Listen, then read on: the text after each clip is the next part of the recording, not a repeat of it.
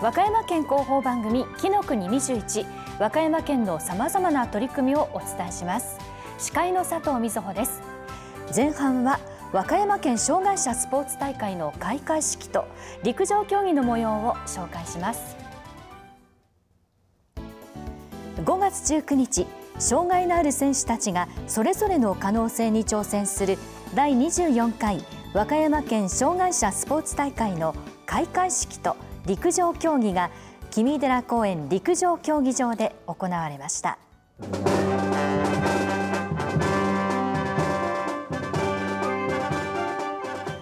開会式ではまず和歌山県警察音楽隊の演奏に合わせて選手団が入場しました。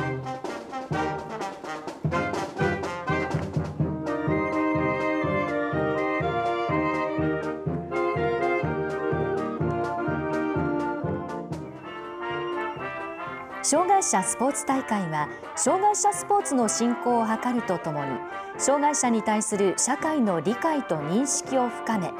自立と社会参加の促進に寄与することを目的に和歌山県と和歌山県障害者スポーツ協会が共同で開催するもので今回が24回目となります。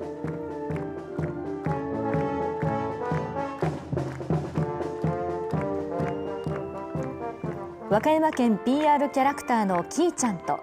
2025年大阪・関西万博の公式キャラクターミャクミャクも応援に駆けつけ行進を盛り上げました。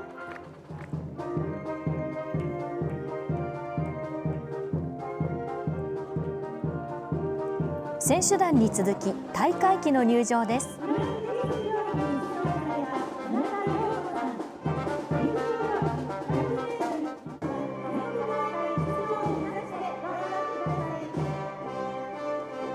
前企画部長が開会宣言をしました。ただいまから第24回和歌山県障害者スポーツ大会の開会を宣言します。続いて大会会長を務める岸本知事が挨拶し手話を交え選手を激励しました。皆さんこんにちは。和歌山県知事の岸本と申します。今日は和歌山県障害者スポーツ大会の開会式雨の中皆さん堂々と行進をしてくれました。この大会は全国大会の予選を兼ねています。今日も日頃の練習の成果を発揮して陸上競技をはじめ7つの競技が行われます。皆さん一生懸命頑張ってください。陸上競技ジャベリックスローに出場する西岡俊明選手が宣誓しました。宣誓我々選手一同は練習の成果を遺憾なく発揮するとともに大会を通じて障害者の社会参加に寄与することを誓います。令和6年5月19日選手代表和歌山選手団西岡俊明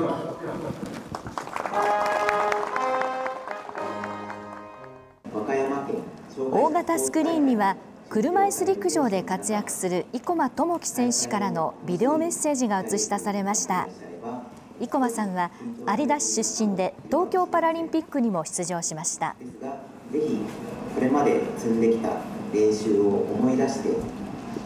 自分の積み重ねてきた努力を信じ全力で楽しんでください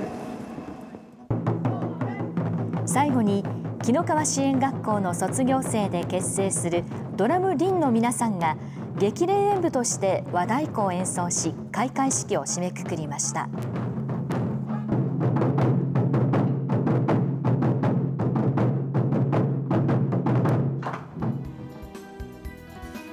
会場入り口には今回からの新たな取り組みとして和歌山市本町にある和歌山スポーツ伝承館の出張展示が行われ生駒選手のユニフォームやメダルなどが展示されました。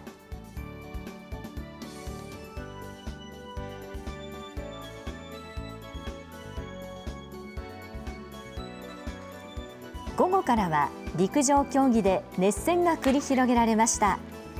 陸上競技は100メートルや800メートルなどの競争の部。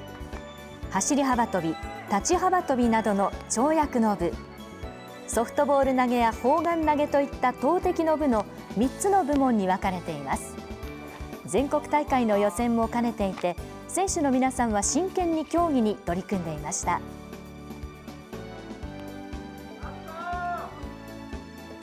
こちらは開会式で選手宣誓を務めた西岡選手です。やり投げのように飛距離を競う競技投擲の部ジャベリックスローに出場しました。西岡さんに感想や競技の楽しさなどについて聞きました。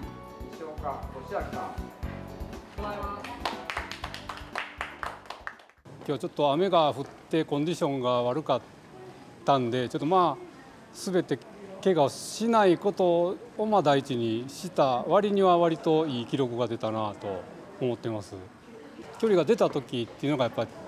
嬉しいですね。まあでも距離を出そうと思って力を入れるとこうブレて全然飛んでいかんし案外あんまり力入れてないけどブレなかったら距離が出てるっていうところがあるのでその辺のバランスが結構難しいです。いろんな人と試合ができてつながれるところがいいかなと思いますね。平成27年に和歌山大会で調子よくて優勝したんです。その時一緒に東京の選手が出ててで前回あ去年ですかね鹿児島に行った時同じようにその人も出てて今度その人に負けたんでその人とは今度またいつか会って戦おうという約束はしました。そういうつながりがどんどん広がっていくところがいいかなと思います。ちょっとまあ年齢との戦いにもなってきますが、まあ、30メーター台以上を出してこう優勝したいなと思ってます。こちらは競争の部100メートルに出場した谷内香音さん。障害者スポーツ大会は初めての挑戦です。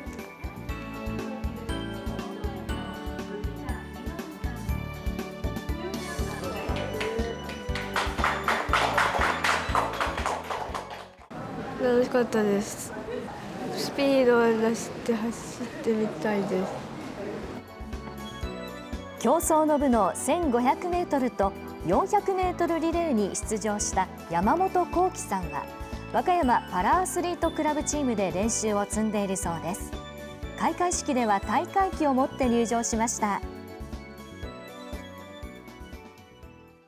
まあ今日はまあ天気のちょっと悪い中あの1500、まあ、どんがいけるかなってあの思いまして、まあ、その初めの一周、まあ、自分のその気持ちよく走ろうと思って、まあ、後半ちょっとあのちょっとバテてしまったんですけど、まあ、申し分ないタイムで、はい、もう満足いけるタイムでした。リレーもあのまあ、バトンを落とさないように、まあ、走りきれるように、まあえー、いこうかなという全力で走ることができました。えー、やっぱりあ自分の限界超えるところですかね。やっぱり自己ベストっていうあのことを出せたらやっぱりとてもその達成感が、はい、あります。今日のあの大会よりももっとあの素晴らしい自己ベストを出すように頑張りたいと思います。大会の運営には和歌山親愛女子短期大学の学生をはじめ障害者スポーツ指導者協議会などがボランティアで参加し競技の受付や選手の誘導などに取り組んでいました。県と大会を共催する和歌山県障害者スポーツ協会の早川さんに伺いました。和歌山県障害者スポーツ協会は障害のある方のスポーツ活動を進行することにより社会参加を推進する活動をしています。近年では障害のある方がスポーツの楽しさを体験してもらいまたスポーツを通じた交流を深めていただくため県内各地でスポーツ教室を開催することに特に力を入れています。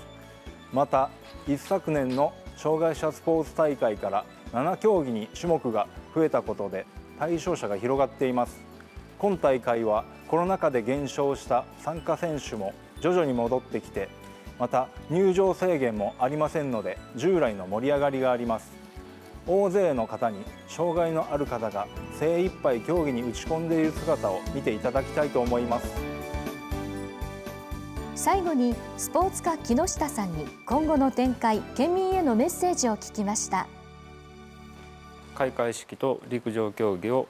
開催することができてよかったと思っています。選手の真剣に競技を取り組む姿であったり笑顔あふれる姿を拝見することができて担当として大変嬉しく思っています。障害者スポーツ大会については本日を起点として卓球アーチェリーなど計7種の競技を9月にかけて開催し延べ700人を超える方が参加予定となっております。8月にはレクリエーションスポーツの大会としてフレンドシップ2024や12月には UI スポーツフェスタなどを開催予定です。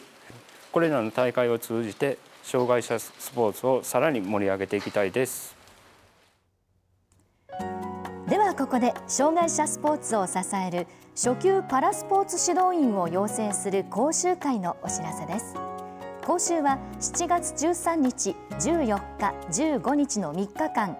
和歌山市県の和歌山県障害児者サポートセンターで開催されます。対象は県内在住または在勤通学する18歳以上3日間の講習すべてに参加できる方です。参加にはテキスト代として3500円が必要です。受講をご希望の方は7月2日必着で郵送メールまたは持参でお申し込みください。定員は30人で申し込み多数の場合は抽選となります。詳しくは県障害者スポーツ協会。電話073-445の7314番。ファックス073-446の0036番へお問い合わせください。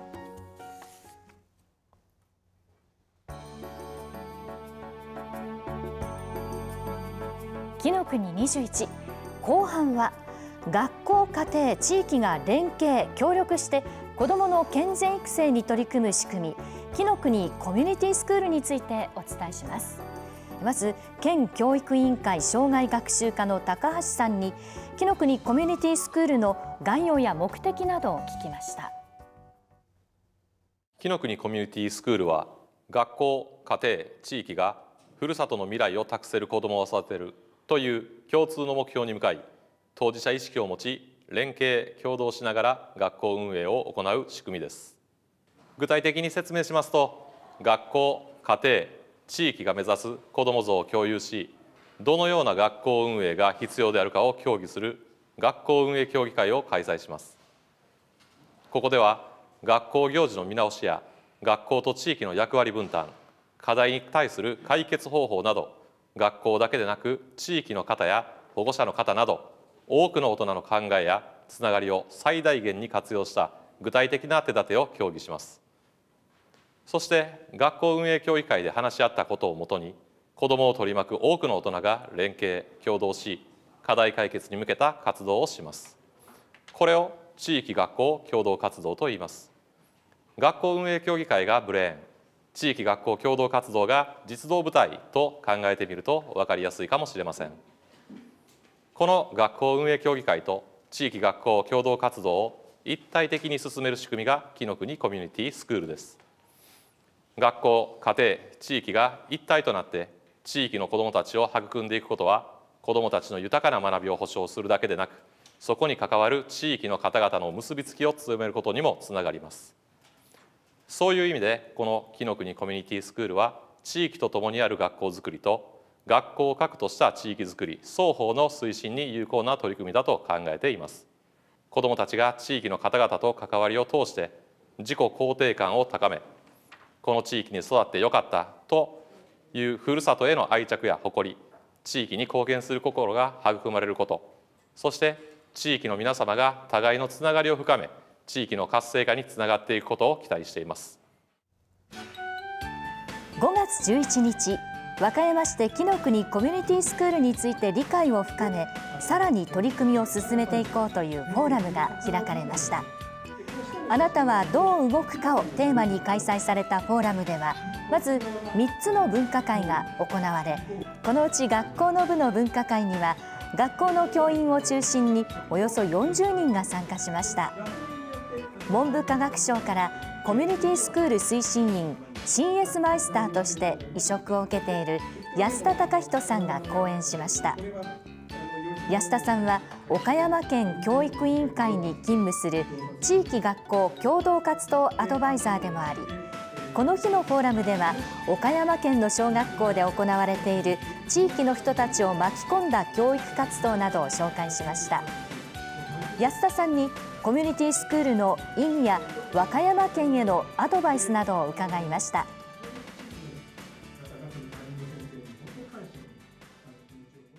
コミュニティスクールというのはあの子どもを取り巻く課題を、えー、解決していくプラットフォームということになります。えー、その課題をですね、えー、学校と地域ので共同して解決をしていくそして、えー、子どもたちを地域ぐるみで、えー、学びをサポートしていくそういったことによって、えー、実は子どもも大人もあの居場所と出番が創出されます。居場所と出番ですからあの心地よい居場所とそして活躍の場ということになります。そういったものが創出されることによって学びがさらに深まっていくということになります。そして意識や行動の変容にもつながっていくということで非常に効果があるということになります。和歌山県はあのコミュニティスクールもたくさん入ってて、えー、私岡山県からするとすごくこう先進的に取り組まれているということがあります。ただ地域によっては小規模と大規模っていうところ田舎と都会というところでもかなり変わってくるのでそれぞれの地域に応じた課題が何かというところをしっかり熟議をして対話をするそういったことが非常に効果的になってくる。のではないかと思っています。別の会場で開かれた地域の部の分科会には県内の学校に設置されている学校運営協議会の委員を務める人などおよそ40人が参加しました講師は文部科学省の CS マイスターで長野県の小中一貫校の地域学校共同コーディネーター前川光一さんです前川さんは長野県の事例を紹介しながら学校運営協議会に求められる役割や学校と地域の人が共同した授業づくりの必要性などについて話しました前川さんにフォーラムで伝えたかったことなどを伺いました。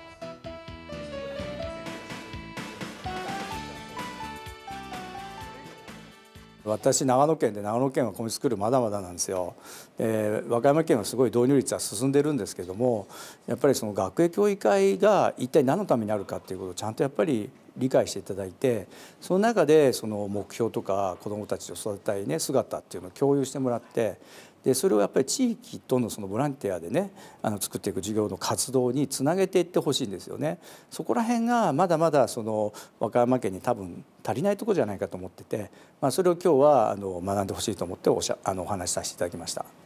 支援という考え方からね共同という考え方にやっぱり皆さん切り替えていっていただきたいと思ってるんですよね。一緒に作るっていう意識が必要だということですね。子どもたちを育てるという意識を考える時には一緒に作りながらですね一緒に大人も学んでいくようなことになるんですけどもそういうあの関わり方として事業を作っていくっていうねそこまでいかないとなかなかねあの成果っていうのは見られないかなと思っています。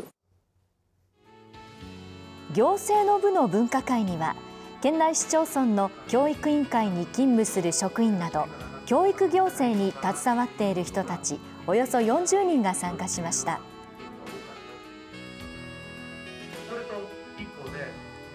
講師となった今田実さんは橋本市教育委員会の教育長を務めています今田さんは学校運営協議会と地域学校共同活動の一体的な推進に向けて橋本市が行っている取り組みなどを紹介しました。小学校の元校長でもある今田さんに子どもたちの学びに求められることや行政の役割について伺いました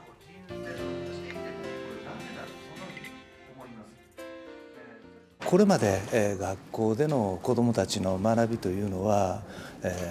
答えがある、え課題に対してどうそれを理解しながらこう学んでいくか、えそこがま中心に置かれていたと思うんです。けれども答えのない課題に出くわした時に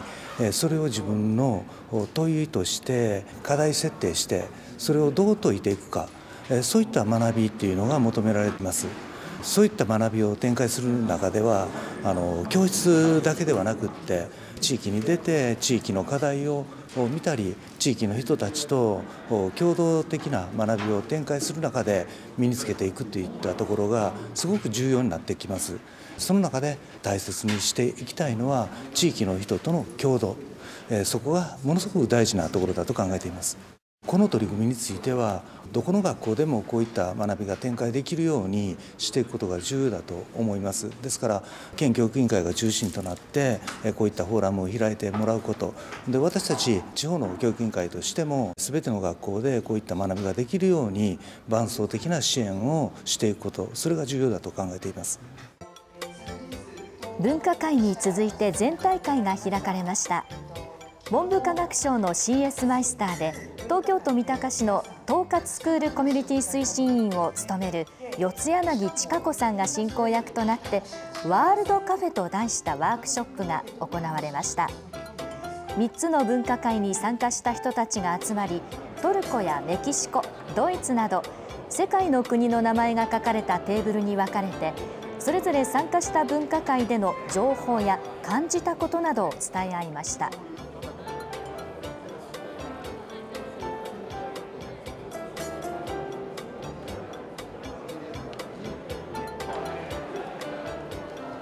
一定の時間が経過すると参加した人たちは世界を旅するように別のテーブルに移って新たなグループで情報を交換しました進行役の四柳さんに今回のフォーラムで特に伝えたかったことや教育委員会に求められる役割などについて伺いました。まあ、より良い学校づくりというのを学校と地域とでやっていこうといった時にみんな立場が違う人たちが集まるので、えっと、話し合うということがとても大事になります。なかなか話し合うってこう一口に言っても難しかったりもするし面倒くさかったりもするんですけれどそれを繰り返すことで本当により良い学校づくりができていく。なのでみんなで話し合うことが大事なんですよ。みんなが意見を言うことが大事なんですよ。ということを伝えたかったんですね。ですのでこう私の方からの何か一方的なお話っていうよりも皆さんが話し合うことで気づいたり学び合ったりすることがあのできたらいいなというふうに思って今回させていただきました。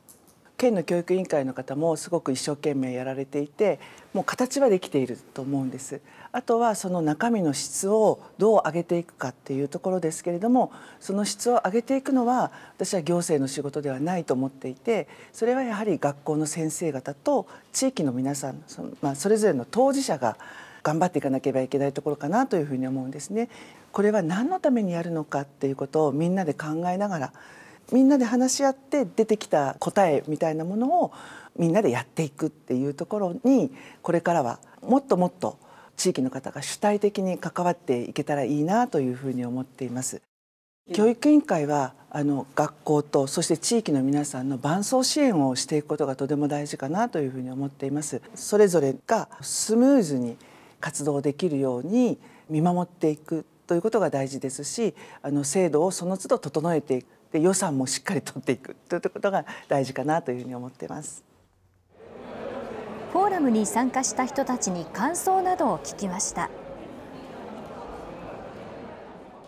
学校部会に参加させていただきました、えその中で元校長先生の、え実践、え聞かせてもらってやはりコミュニティスクールを、え推進する中で校長先生のバイタリティというかリーダーシップマネジメント力アセスメント力っていうのがすごく必要なんだなっていうのを、え感じることできました。だから校長が変われば学校が変わるってよく言われますがあの校長先生の、え、力でコミュニティスクールもすごく活性化するんだなっていうふうに思ったので、まあ、自分の学校でも是非真似できるところは真似していきたいなっていうふうに思っております。今までは本当に学校の運営委員協議会の方で、まあ、あの本当にたわいもない塾儀っていう形で本当に、まあ、お話程度っていうか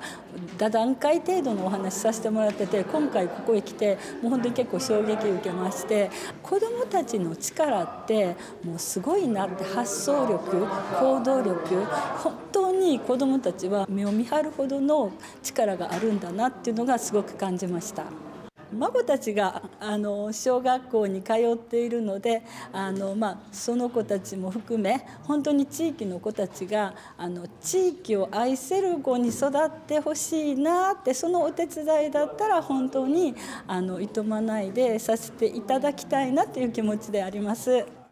ここに来るとあの活性化されるというか皆さんこう学校なり地域なりを良くしようと取り組まれているというのがひしひしと感じられますすごく学びになるなと、はい、思いましたやっぱりあの自分事ととして考えるということとどうやって自分事としてもらうかということで安心安全の場というかまあ、安心して何かを言える意見が言える場をそういう場をどうやって持っていくかというのを今後検討していきたいなと思いました。最後に県教育委員会障害学習課の桐井さんから県民の皆さんにメッセージですそうだという風に思います。子どもたちを取り巻く環境や学校が抱える課題は複雑化多様化を極めておりそのすべてを学校だけで解決することは難しくなっています。社会が変われば求められる人材も変わり学校の在り方も変わっていかなくてはなりません。このような予測困難な時代だからこそ学校と地域が連携協働し学校運営を行うきのこみコミュニティスクールが重要だと考えています。現在ほぼすべての公立学校に学校運営協議会が設置され各学校においては社会に開かれた教育課程を意識したカリキュラムマネジメントに取り組んでいます。そして地域とともにある学校として地域の人や資源を活用するなど学校教育を学校内だけに終わらせず社会と連携協働した教育活動に取り組んでいます。最後に県民の皆様にお願いです。本日のフォーラムはあなたはどう動くかというテーマで開催しました。皆様一人一人がそれぞれの立場で自分は何ができるのか何をしなければならないのか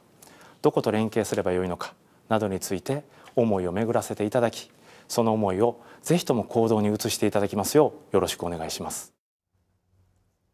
紀の国21来週は開幕まで1年を切った大阪・関西万博について大阪・関西万博祭事検討会議共同座長の大崎博さんと岸本知事の対談の模様をお伝えします。来週もぜひご覧ください。それでは今週はこれで失礼します。